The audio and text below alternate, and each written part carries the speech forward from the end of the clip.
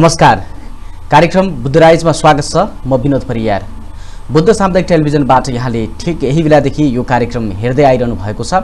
कार्यक्रम बुद्धराइजमा हामी समसामयिक विषयवस्तुहरूमा केन्द्रित रहेर कुराकानी गर्ने गर्छौँ। अहिले मुलुकमा नेकपाको बहुमतको सरकार छ। बैसठी त्रिसठी सालको जनआन्दोलनपछि संविधान सभाको निर्वाचन र त्यसपछि सङ्घीयता कार्यान्वयनमा दलहरू गएका थिए। र अहिले मुलुक सङ्घीय संरचनामा गएको छ। तिन तहको सरकारहरू बनेका छन् स्थानीय प्रदेश र सङ्घ गरेर।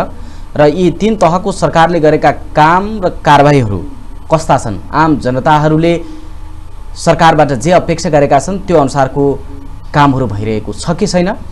र भर्खरै मात्रै हामीले शहीद दिवसलाई मनाएका छौँ विदा गरेका छौँ। शहीदप्रति हेर्ने समाजको दृष्टिकोण कस्तो छ? राज्यको दृष्टिकोण कस्तो छ? र लगायतका अहिलेको समसामयिक विषयवस्तुहरूमा केन्द्रित रहेर आज हामी कुराकानी गर्दैछौँ। आज हामीसँग हुनुहुन्छ लेखक ऋषि आजाद। यहाँलाई स्वागत छ। तपाईँ फेसबुकमा पनि निकै सक्रिय हुनुहुन्छ सामाजिक सञ्जालमा। हजुर। अब यो अब तपाईँको यो सन्दर्भ फेसबुकबाटै कुराकानी गरौँ। सामाजिक सञ्जालमा यहाँले अलि बढी आक्रोशपूर्ण कहिलेकाहीँ समाजलाई दिशानिर्देश गर्ने गरेर तपाईँले ती सामाजिक सञ्जालमा आफ्नो अभिव्यक्तिहरू पनि दिइरहनुहुन्छ। अब यो तपाईँको उमेरको हिसाबले सामाजिक सञ्जालको प्रयोगलाई चाहिँ तपाईँले कसरी गर्नुभएको छ? खास तपाईँ किन प्रयोग गर्नुहुन्छ? सामाजिक सञ्जाल एउटा मलाई के लाग्यो भने पछिल्लो चरणमा एउटा सशक्त माध्यम भयो। विचार विचारको निम्ति सशक्त माध्यम जस्तो भन्यो हामीसँग प्रशस्त विचारहरू छन्। ती विचारहरूलाई हामीले टाइप गरेर अनि सामाजिक सञ्जालमा राखिदिन कुन बेर हुन्छ र के ठुलो कुरो भयो र हामीले सिधै चाहिँ त्यसलाई अब जुन जुन बेलामा जुन समयमा जुन घटनाक्रम भयो त्यो घटनाक्रमलाई चाहिँ सामान्य रूपमा विश्लेषण गरेर छोटो छरितो र संश्लेषणात्मक रूपमा चाहिँ राख्नलाई कुनै समस्या होइन राख्छु र प्रयोग गरिरहेको छु। म त्यो प्रयोग गर्न मन पराउँछु।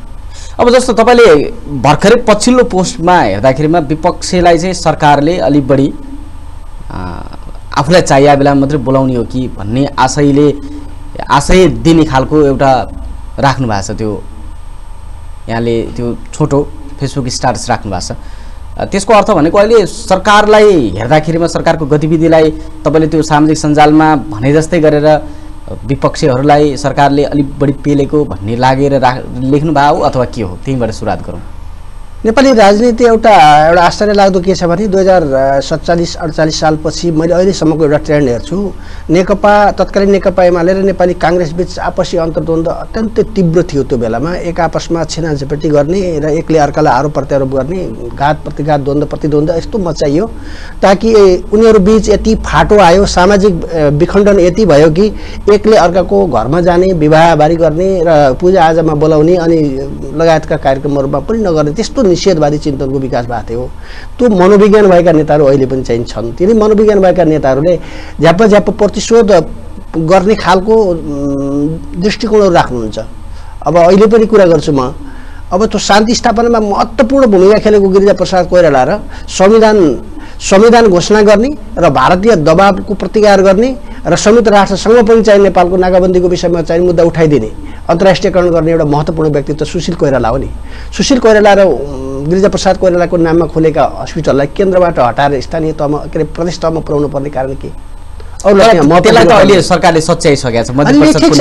सच्याउनु धेरै राम्रो कुरा हो। मलाई लाग्छ सच्याउनु धेरै राम्रो कुरा तर नियत त देखियो नि। यो नियत किन राख्ने? प्रतिशोधको चस्माले कुटनीतिक रूपमा हेरेर राज्य सञ्चालन गर्नु हुँदैन। राज्य सञ्चालन गर्दा मूल्य मान्यता नीति नियम विधि विधान आचार संहिताहरू हुन्छन्। त्यसका आधारमा चलाइदिए त भइहाल्यो नि। किन कुटनीति गर्ने? मलाई लाग्छ नीतिमा कुटनीति मिसाउँदा कुटनीतिको विष घोल्दा त्यो चाहिँ नराम्रो हुन्छ त्यसको परिणाम नराम्रो निस्किन्छ। अहिले अहिले म देखेको के हो भने चाहे गिरिजाप्रसाद कोइराला हिजोको गिरिजाप्रसाद कोइरालाले यस्तो खालको संस्कारको विकास गरेका हुन्। गिरिजाप्रसाद कोइरालामा पनि त्यो दोष छ। साथसाथै हिजोको माधव नेपाल झलनाथ खनाल खड्गौली लगायतका ने वामदेव गौतम लगायतका नेताहरूले जुन खालको निषेधवादी चिन्तनको विकास गरे हाम्रो समाजमा त्यसको प्रभाव अहिले पनि छ। र त्यसको प्रभाव चाहिँ नि कार्यकर्ताहरूमा पनि परेको छ। भनेको अहिले तपाईँले भन्न खोजेको चाहिँ अहिलेको राजनीतिको जुन खालको परिदृश्य देखिरहेछ यो विगतको सिकाइ अथवा विगतको निरन्तरता एउटा छँदैछ त्यसलाई सुधार गर्नुपर्छ भन्ने हो? हो एकदमै। म त्यही नै हो। पूर्वाग्रह छोडौँ प्रतिशोध छोडौँ अनि स्वस्थ प्रतिस्पर्धाको सुरुवात गरौँ। अब सरकारले विपक्षलाई हेर्ने दृष्टिकोणको हिसाबले अथवा दुई तिहाईको सरकार भइसकेपछि जस्तो अब हामी उदाहरणै लिँदा चिकित्सा शिक्षा विधेयकको विषयमा अहिले कङ्ग्रेस विरोधमा छ। डाक्टर गोविन्द केसीको पक्षमा तपाईँले पनि आलेखहरू पनि लेख्नु भएको छ लेख पनि लेख्नु भएको छ। त्यसको समर्थनमा डाक्टर गोविन्द केसीको विषयमा यहाँले बेला बखतमा आफ्नो अभिव्यक्तिहरू दिइ पनि रहनु भएको छ। त्यो हिसाबले संसदमा जसरी चिकित्सा शिक्षा विधेयक पारित गरियो त्यो संसदीय प्रक्रियाको हिसाबले नेकपाका सांसदहरूले भनेको यो ठिक हो बहुमतको आधारले संसदीय प्रक्रियामा जानुपर्छ तर कङ्ग्रेसले बलजफ्ती गरियो भन्ने टिप्पणीमा उहाँहरू विरोधमा हुनुहुन्छ। यसलाई तपाईँले कसरी हेर्नु भएको छ? म कङ्ग्रेसको स्वरमा स्वर मिलाएर त म बोलेको छैन र त्यसै गरी नै राज्य पक्षबाट जुन संसदीय अभ्यासको माध्यमबाट जुन विधिवत रूपमा कार्य चाहिँ गरियो त्यो कार्य संसदीय प्रणाली अन्तर्गत चाहिँ हेर्ने हो भने त्यो ठिकै हो। त्यसरी नै जानु पर्थ्यो त्यसरी नै गयो। अनिवार्य एकातिर एउटा महात्माको रूपमा देखा परेका जनस्वास्थ्यका पिताकै रूपमा चाहिँ मैले चाहिँ परिभाषित गर्छु डाक्टर केसीलाई। उनको महानताले गर्दा उनको त्यागले गर्दा अहिले जनस्वास्थ्यको क्षेत्रमा निकै ठुलो चाहिँ प्रगति भएको छ र उनले भनेका लगभग लगभग नब्बे प्रतिशत कुराहरू अहिले चाहिँ विधेयकमा पारित भएका छन्। तर पनि फेरि डाक्टर केसी त सन्तुष्ट हुनुहुन्न नि त फेरि। डाक्टर केसीका आठ दस प्रतिशतलाई सन्तुष्ट नहुनु होला र पूर्णतामा लैजान खोज्नु भएको छ। त्यसलाई पनि सरकार लचक भएको हिजोको हिजो अस्तिको चाहिँ मैले हामीले हेर्दाखेरि पत्र पत्रिकाहरू र अन्य सञ्चार माध्यमहरू हेर्दा सरकार चाहिँ तुलनात्मक रूपमा लचिलो भएको छ। अब वार्ता टोली गठन गर्ने उहाँको जीवन रक्षाको निम्ति चाहिँ विशेष पहल गर्ने अनि उहाँका चाहिँ मागहरू पुरा गर्नको निम्ति पहल गर्ने भन्ने कुरा सरकार त्यत्रो लचकता चाहिँ अपनाएको छ। यसमा कङ्ग्रेसले जुन खालको विरोध जनाइरहेको छ त्यो प्रति तपाईँको टिप्पणी चाहिँ के हो? कङ्ग्रेसलाई खास कङ्ग्रेसको विरोध चाहिँ के भने कङ्ग्रेस आ, ले सुरुमा सुरुमा कङ्ग्रेस ठिकै हो। जब त्यो हाम्रो चाहिँ विधेयक स्वीकृति भयो विधेयक स्वीकृति भइसकेपछि कङ्ग्रेसले धेरै कुरा यसरी अगाडि बढ्नु हुँदैन। र निर्मला केसदेखि लिएर अन्य कुराहरूका केसहरू जुन डाक्टर केसीबाट उठे शहीदका कुरा बेपत्ताका कुराहरू उठे। ती कुराहरू नगासेको भए हुन्थ्यो त्यसमा। र त्यो भिन्दै तरिकाले गरेको भए हुन्थ्यो त्यसको कन्सर्न भनेको त्यो डाक्टर केसीले त्यो गर्नु आवश्यक थिएन त्यो। आवश्यक थिएन ती का ती केसहरू महत्त्वपूर्ण छन् आफ्नो ठाउँमा छन्। सरकारले सम्बोधन गर्दा कोसिस गरिरहेछ निर्मल हत्याकाण्डलाई पक्ड्नको निम्ति दोषीलाई पक्ड्नको निम्ति पनि चाहिँ प्रयास गरिरहेछ यता चाहिँ शहीद र बेपत्ताका कुरा पनि उठेका छन् त्यसको क्षतिपूर्तिका कुराहरू पनि उठिरहेका छन् त्यसपछि त्यसलाई कानुनी कारवाहीका कुरा पनि उठेका छन् त्यसलाई चाहिँ व्यवस्थित रूपमा चाहिँ अफ्रिकन मोडलबाट जस्तै नेपालमा पनि व्यवस्थित रूपमा त्यसलाई चाहिँ पुरा गर्ने योजना चाहिँ गरिरहेछ सरकारले तर ढिला गरिरहेछ त्यो छिटो छरितोको निम्ति चाहिँ दबाब दिनको कङ्ग्रेसले उठाउनु ठिकै हो। तर केसीको मुखबाट त्यही आउनुपर्ने जरुरी थिएन। केसीमा त्यसमा केसी चुक्नु भएको केसीले चाहिँ निर्मला हत्याकाण्ड र त्यसलाई मुछेर न विशुद्ध जनस्वास्थ्यकै विषयमा मात्रै कुरा राखेको भए हुन्थ्यो भन्ने कुरा त मैले भने। जस्तो तपाईँ तपाईँ व्यक्तिगत रूपमा त डाक्टर केसीको समर्थनमै हुनुहुन्छ अहिले पनि। लाग्छ मलाई त्यतिको महत्त्वपूर्ण व्यक्ति नेपालमा जन्मेको छैन। यति त्यागी यति स्वार्थी यति महत्त्वपूर्ण व्यक्ति नेपालमा जन्मेको छैन। मैले कम्युनिस्ट राजनीति गरेका नेताहरूको चमक दमक देख्छु आडम्बर देख्छु। त्यो देख्दा त्यो देख्दा कम्युनिस्टहरू भन्दा त डाक्टर केसी हजार गुणा माथि छन्। त्यति आदरणीय छन् र नेपाली जनताका आदरणीय व्यक्ति हुन्। तिनको जीवनशैली जुन देख्छौँ हामी त्यही बाटोमा लाग्ने हो भने त यो देश त निकै राम्रो हुन्थ्यो नि। भनेको जनस्वास्थ्यका जति पनि मुद्दाहरू उनले उठाएका छन् डाक्टर केसीले त्यो चाहिँ नेपाली जनताको पक्षमा छ भन्ने तपाईँको भनाइ। आधारभूत जनताको पक्षमा छ। आधारभूत जनताको जनस्वास्थ्यको पक्षमा छ र त्यो जनस्वास्थ्यको पक्षमा भएको हुनाले नै हामीले चाहिँ उहाँलाई आदर गरेका हौँ। किनभने हामी आधारभूत वर्गबाट आएका मानिसहरू हौँ आधारभूत वर्ग वर्गबाट आएका मानिसहरूले डाक्टर केसीलाई गाली गर्नुको कुनै औचित्य छैन सम्मान गर्नुपर्छ सराहना गर्नुपर्छ। तथापि उहाँ विषय केन्द्रीय हुनुपर्छ। जस्तो डाक्टर केसी र सरकारको भनौँ न प्रधानमन्त्री केपी ओलीलाई हेर्ने दृष्टिकोणमा दुवैतर्फ चाहिँ बढी भक्तहरू भेटिए। डाक्टर केसीका भक्तले सरकारलाई गाली गर्ने सरकारका भक्त अथवा प्रधानमन्त्री ओलीको समर्थकहरूले डाक्टर केसीलाई गाली गर्ने जुन सामाजिक सञ्जालमा जुन खालको परिदृश्य देखिया छ नि यो हुनुलाई चाहिँ तपाईँले कसरी हेर्नुहुन्छ? सत्ता पक्षले हिजो पनि त्यस्तो खालको मण्डलीहरू बनाएर पञ्चायतदेखि नचाहेको थियो। पछि पछिल्लो चरणमा चाहिँ नेपाली कङ्ग्रेसहरूको पालामा भिजिलान्ते भन्थे। भिजिलान्तेहरूले चाहिँ त्यस्तो चाहिँ क्रियाकलापहरू गर्थे। र अहिले पनि तिनै भिजिलान्तेहरू प्रयोग गरेर राज्यले डाक्टर केसीका चाहिँ नि जन्सन विरुद्ध र उनका माग विरुद्ध चाहिँ प्रयोग गर्न खोज्दैछ। र केही त्यस्तो सङ्केतहरू देखिएका छन्। आम नागरिकको कुरा गरिरहेको जस्तो सामाजिक आम नागरिक आम नागरिकले पनि विभाजित हुनुहुन्छ नि त आम नागरिक नागरिकले वास्तवमा आम नागरिकको तर्फबाट डाक्टर केसीप्रति कुनै आपत्ति छैन। सम्मान र स्वागत नै छ। तर मलाई लाग्छ भिजिलेन्टको प्रयोग गर्ने डाक्टर केसीको अल्सन विरुद्ध चाहिँ बल प्रयोग गर्न खोज्ने अनर्गल प्रचार गर्ने दुष्प्रचार गर्ने यस्ता कामहरू हुन लागेका छन्। यो वास्तवमा सत्ता पक्ष र प्रतिपक्ष बिचको जुन अस अस्वस्थ प्रतिस्पर्धाबाट आएको छ यसलाई सच्याउनुपर्छ राजनीतिलाई विशुद्ध बनाउनुपर्छ। अब यो अहिले विशेष गरेर मुलुक चाहिँ सङ्घीय संरचनामा गएको सङ्घीय अभ्यासमा चाहिँ एक प्रकारले हामी यो एक वर्षको समय गुजार्यौँ प्रदेश सरकार स्थानीय तहको सरकार सङ्घको सरकार तिन तहको सरकारहरू छन्। तपाईँले यो अहिलेको यो सङ्घीयतालाई चाहिँ जनताको अपेक्षालाई सम्बोधन गर्ने हिसाबले यो सङ्घीय प्रणाली अहिलेको शासन प्रणाली गइरहेछ भन्ने लागेको छ कि के छ? कसरी गइरहेछ होला? वास्तवमा सङ्घीय प्रणाली नेपालको धरातलीय रूपमा हेर्दाखेरि बिल्कुल ठिक छ यो आवश्यक थियो र जे भएको छ त्यो मैले ठिक छ भन्छु।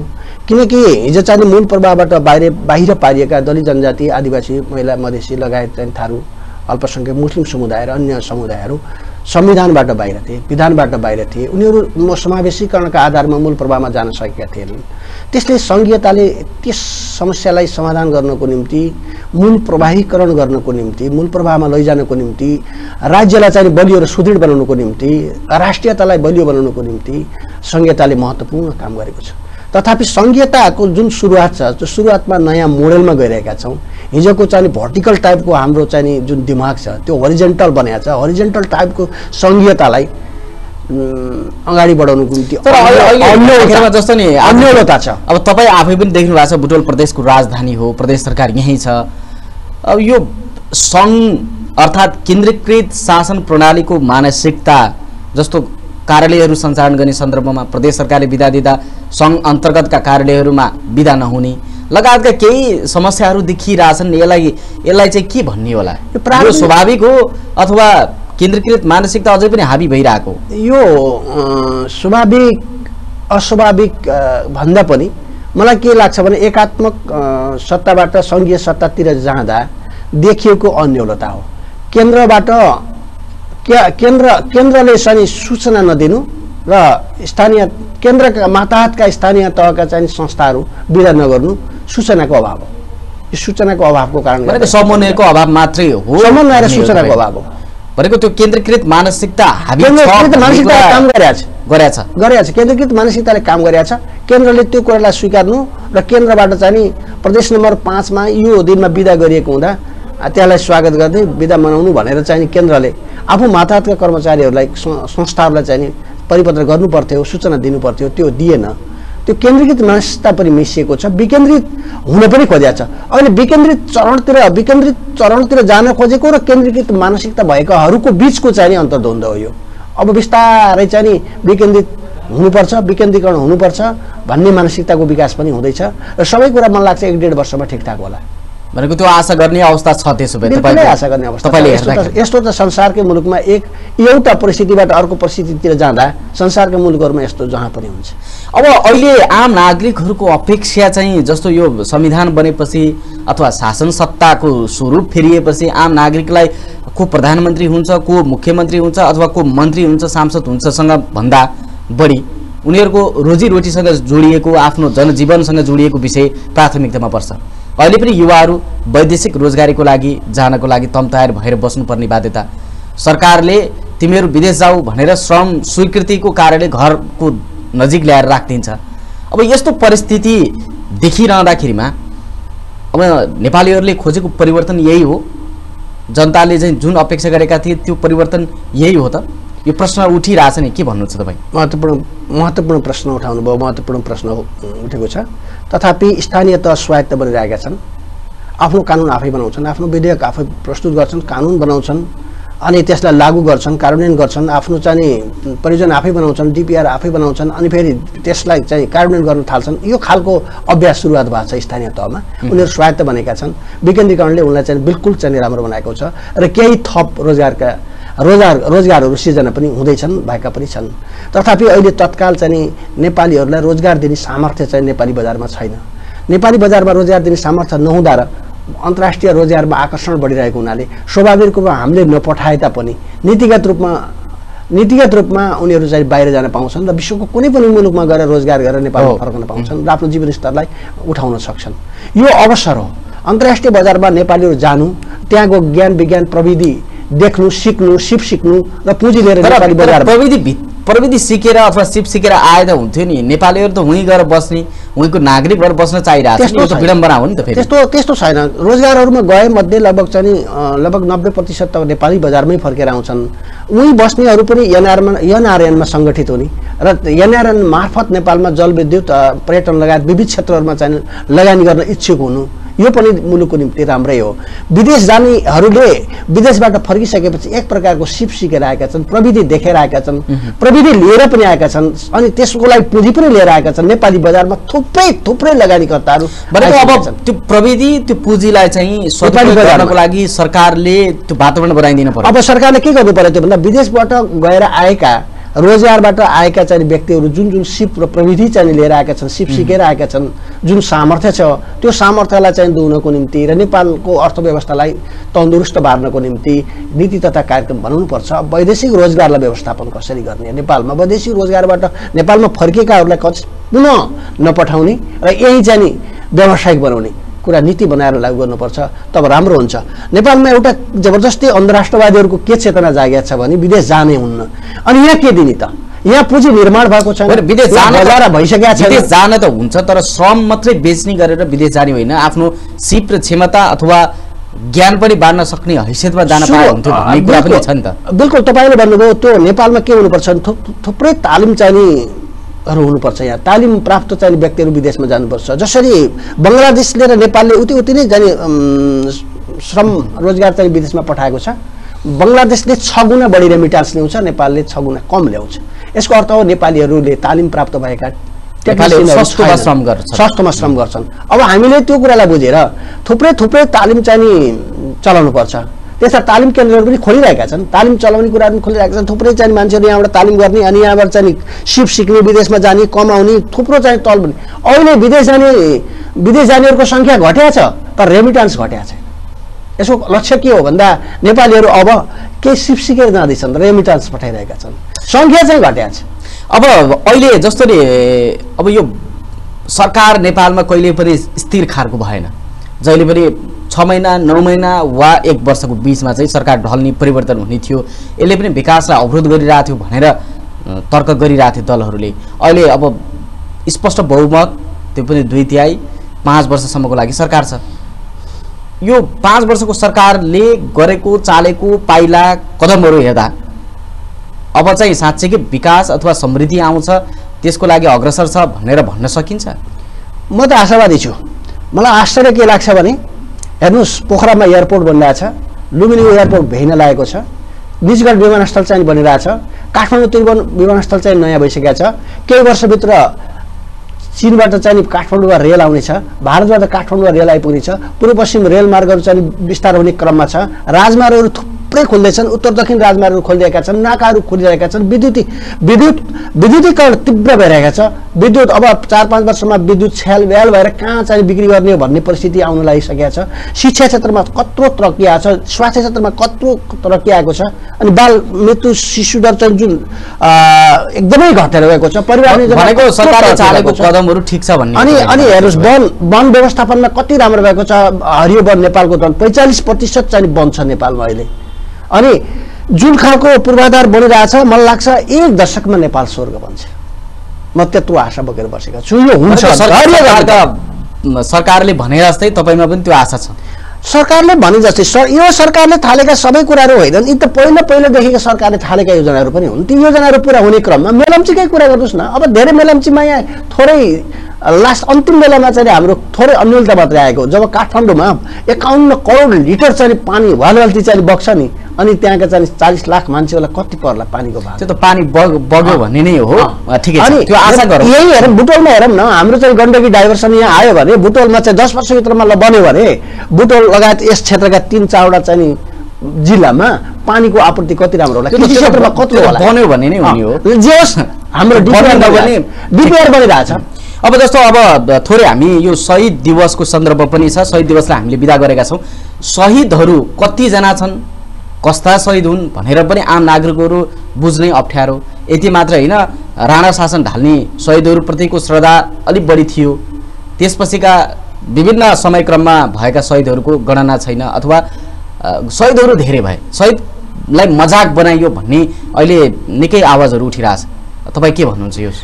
वास्तवमा शहीदको परिभाषा खोज्नुपर्छ। मैले शहीद लखन थापादेखि लिएर राणा शासन सन्तानब्बे सालमा चाहिँ शहादत प्राप्त गर्नुभएका चारजना शहीददेखि लिएर जनयुद्ध र मधेस आन्दोलन टिकापुर आन्दोलन लगायतका पक्ष प्रतिपक्ष। अहिले त राज्यले त्यो पनि भन्यो पछिल्लो पटकमा पक्ष प्रतिपक्ष नेपाली सेना। किनभने जे जे सिद्धान्तका आधारमा आयौँ। जे जे सिद्धान्तका आधारमा हामीले बाह्र बजे सम्झौता गऱ्यौँ। त्यसमा चाहिँ राज्य पक्ष र प्रतिपक्ष दुवैको चाहिँ जित भएको छ। राज्य पक्षमा मरिएका व्यक्तिहरू अहिले सेना र प्रहरीलाई पनि राज्यले शहीद घोषणा गरिसकेका छ। भने अन्य चाहिँ पक्षबाट विद्रोही पक्षबाट मारिएकाहरू त स्वतः शहीद नै हुने भइहाले। अनि अँ, लखन थापादेखि अहिलेसम्म जुन जुन आन्दोलनमा जो जो चाहिँ शहादत प्राप्त गर्नुभएको छ देश र जनताको निम्ति समुदायको निम्ति वर्गको निम्ति उहाँहरू सबै शहीद हो। अ, शहीदको विषयमा मैले भनिरहनु पर्दा अलिकता के छ भने पिँढोबाट हेर्नुपर्छ।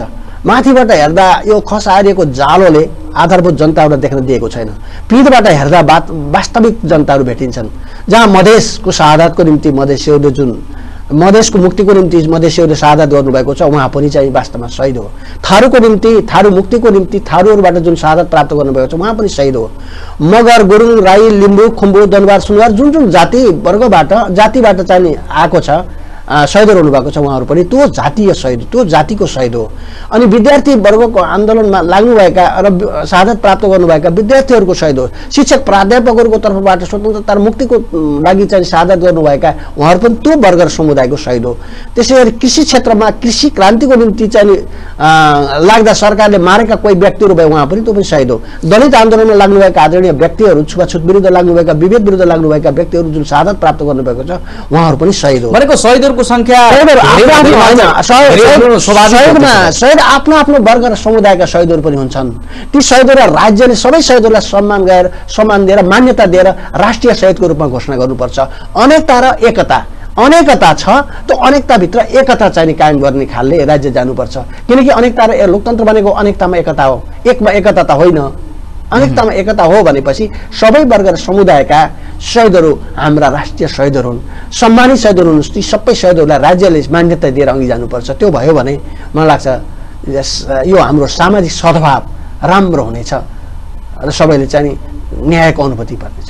हस् यहाँले यो अत्यन्तै महत्त्वपूर्ण समय दिनुभयो। यसको लागि यहाँलाई बुद्ध राइज कार्यक्रमको तर्फबाट र बुद्ध टेलिभिजनको तर्फबाट यहाँलाई धेरै धेरै धन्यवाद। हस् धन्यवाद। आज हामीले कुराकानी गऱ्यौँ। समसामयिक राजनीतिको विषयमा हामीले कुराकानी गरेका थियौँ र हामीसँग हुनुहुन्थ्यो लेखक ऋषि आजाद। उहाँसँग हामीले पछिल्लो समयका राजनीतिक घटनाक्रमसँग सम्बन्धित रहेर के विश्लेषणात्मक विषयमा कुराकानी गऱ्यौँ। आजको यो संवाद यहाँलाई कस्तो लाग्यो? यहाँको मनमा उठेका प्रश्न जिज्ञासा भएको खण्डमा यहाँले हामीलाई खबर गर्न सक्नुहुन्छ। आजको कार्यक्रम हेरेर साथ दिनुभएकोमा सम्पूर्ण दर्शकहरूलाई आभार प्रकट गर्न चाहन्छौँ। प्रविधि संयोजनको लागि नरेश अधिकारीलाई धन्यवाद। आजका अतिथि लेखक ऋषि आजादज्यूलाई पुनः धन्यवाद दिँदै म विनोद परियार अर्को श्रृङ्खलासम्मको लागि छुट्टिन्छु नमस्कार।